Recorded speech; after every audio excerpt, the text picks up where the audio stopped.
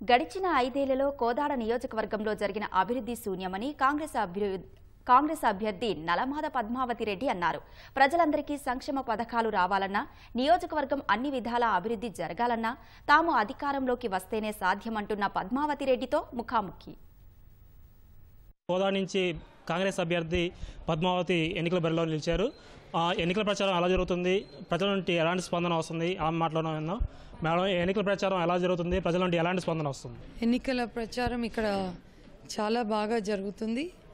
మరి ముఖ్యంగా సోనియా గాంధీ గారు ఇచ్చిన ఆరు గ్యారంటీలు ప్రజలందరూ చాలా బాగా స్వీకరిస్తున్నారు. మరి ముఖ్యంగా మహిళలు.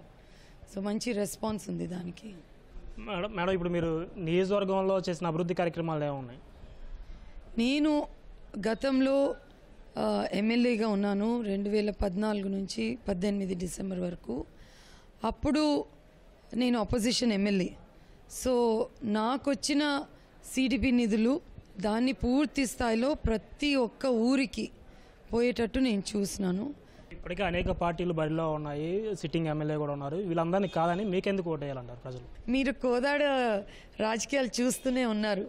మరి ఫస్ట్ మన చేయి గుర్తుకు ఎందుకు ఓటేయాలి అనేది ఒక భాగం అయితే అధికార పార్టీలో ఉన్న కరెంట్ అధికార పార్టీలో ఉన్న ప్రజాప్రతినిధులు. అంటే వాళ్ళు కూడా ఆ గుర్తు మీద ఎంపికై ఉన్నారు. వారు కూడా హఠాత్తుగా అధికార పార్టీ సైడు రాజీనామా చేసి ఇక్కడ కాంగ్రెస్ పార్టీలో చేరారు. అంటే ఇలాంటిది బహుశా ఈ నూట పంతొమ్మిది నియోజకవర్గాల్లో ఎక్కడ కూడా ఇంత పెద్ద సంఖ్యలో కాదేమో. సో అదొక్కటే పెద్ద మీకు ప్రూఫ్. ప్రజలు కూడా అందరూ అలిసిపోయినారు. మరి ముఖ్యంగా ఒకటేమో సరే కేసీఆర్ గారు తను చెప్పిన హామీలు ఎక్కడ దళిత ముఖ్యమంత్రిని మొదలు పెడితే దళితులకి మూడు ఎకరాలు కానీ డబుల్ బెడ్రూమ్ ఇండ్లు కానీ ఏకకాలంలో రుణమాఫీ కానీ ఈ పొదుపు సంఘాలకు వాళ్ళకు మిత్తి మాఫీ కానీ ఈ అన్నిట్లో కూడా ఏది కూడా పూర్తి స్థాయిలో ఇవ్వాలటి వరకు అంటే దశాబ్ద కాలం అయిపోయింది. ఇప్పటి వరకు ఇంప్లిమెంట్ కాలేదు. ఎన్నికలు వస్తున్నాయని నిన్న మొన్న ఒక ఊరికి బహుశా యాభై సరే ఊరు ఇడిచిపెట్టని వారు ఇంటికి ఊర్లకి ఇస్తా అన్నారు కానీ మండలాలకు కూడా పూర్తి స్థాయిలో ఒక యాభై ఇండ్లు పూర్తిగా మంచి ఇండ్లు ఇవ్వని ఇవి లేవు. ఈ నియోజకవర్గ స్థాయి వస్తే ప్రస్తుత ఎమ్మెల్యే గారి పనితీరు వారి వ్యవహార శైలి ఒక పోలీసు వ్యవస్థను అడ్డం పెట్టుకొని ప్రజాప్రతినిధులను ఇబ్బంది పెట్టారు. జైలు పాలు చేశారు. మీద పోలీస్ భయం పెట్టి వాళ్ళ మీద కూడా అధికారం చెలాయించారు.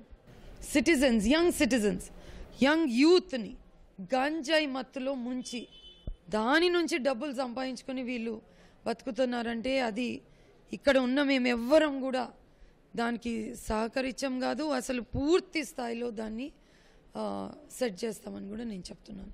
మీరు ఆరు గ్యారెంటీలను తీసుకొచ్చారు. తర్వాత ఇదే విధంగా బారాసా కూడా మేనిఫెస్టో విడుదల చేసింది. అంటే ప్రజలు ఎటువైపు మొగ్గు చూపుతున్నారు ఈ స్కీముల పట్ల? సి బరాసా బారాసా కూడా ఈ ఆరు గంటలు చూసినాకనే దానికి ఒక వంద రూపాయలు ఎక్కువ తక్కువ చేసి పోయినసారి కూడా ఇదే చేసిండ్రు. మీకు గుర్తుందో లేదో. కాంగ్రెస్ పార్టీ మేనిఫెస్టో రాగానే. అప్పుడు నిరుద్యోగ వృత్తి మనం రెండు వేలు అనుకున్నాం వీరు పదహారు రూపాయలు. ఆ రోజు కేసీఆర్ గారికి పదహారు ఎక్కువ ఇష్టం ఉండే సంఖ్య ఆరు అని అన్నిటికీ పదహారు రూపాయలు యాడ్ చేసి మేనిఫెస్టో రిలీజ్ చేశారు. ఈసారి ఈ ఆరు గ్యారంటీలు తీసుకొస్తే మనం ఐదు వందలు అంటే వాళ్ళు కేటీఆర్ గారు హేళన చేశారు. మీరు కూడా చూశారు. మరి ఇంకా వంద రూపాయలు తగ్గించి మళ్ళీ నాలుగు వందలని వారు ముందుకు వస్తున్నారు కాబట్టి ఇప్పుడు ప్రజలు దశాబ్ద కాలం అయిందండి. కేసీఆర్ మాటలు వింటూ వింటూ వింటూ వచ్చారు. ఇప్పుడు అలసిపోయారు. ఇప్పుడు వారు ఏం చెప్పినా రెండు వందలకి ఇస్తా అన్నా కూడా నమ్మే పరిస్థితిలో లేరు. గతంలో కాంగ్రెస్ పార్టీ ఏకకాలంలో రుణమాఫీ చేస్తా అంటే చేసింది రాజశేఖర రెడ్డి గారు. మరి ఇండ్లు ఇస్తాము అంటే పార్టీలకు అతీతంగా ఇక్కడ సగం మంది ఉన్నారు. పార్టీలకు అతీతంగా గుడిసె లేని ఊరు అనే నినాదంతో ముందుకెళ్ళి ప్రతి ఊర్లో ఒక ఊర్లో ఇరవై అయితే ఇరవై ఒక ఊర్లో అరవై అయితే అరవై ఇప్పుడు లక్ష్మీపురం కాలనీ లాంటిది పన్నెండు వందల ఊర్లు ఇండ్లు కట్టించి కాంగ్రెస్ పార్టీ ఇచ్చింది కాబట్టి ప్రజలు ఆ లైఫ్ చూశారు అనుభవించారు. ఈ గత ఐదేళ్ళలో ఇక్కడ లోకల్గా మల్ల యాదవ్ గారిది చూశారు.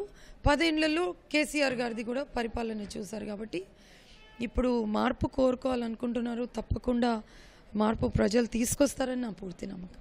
పదేళ్ళ బేఆర్ఎస్ పాలన చూసి ప్రజలందరూ విసుకెత్తిపోయారని చెప్పి ప్రభుత్వం పైన వ్యతిరేకతనే మరోసారి ఇక్కడ కాంగ్రెస్ని గెలిపిస్తుందని చెప్పి స్థానిక కాంగ్రెస్ అభ్యర్థి పద్మావతి తెలుపుతున్నారు కెమెరామెన్ జనార్దన్తో ఈశ్వర్ ఈటీవీ న్యూస్ కోదాడు.